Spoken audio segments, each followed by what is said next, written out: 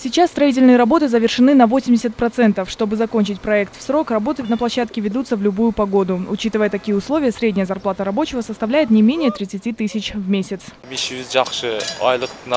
Перед нами стоит задача сдать объект в срок, поэтому мы работаем без выходных. Мы планируем завершить строительство в течение двух месяцев. Строительство моста оказывает положительное влияние на экономику города. Все строительные материалы закупаются у местных производителей. В настоящее время асфальтом покрыта половина моста. В ближайшее время к нему будут подведены дороги. Также трасса будет проложена под эстакадой. Отдельные полосы будут выделены для машин скорой помощи и пожарной службы.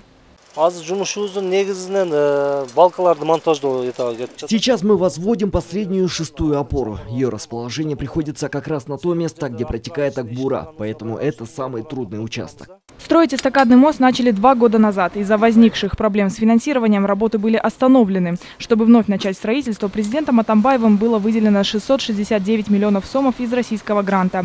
Надзор на качеством строительства ведется тремя органами.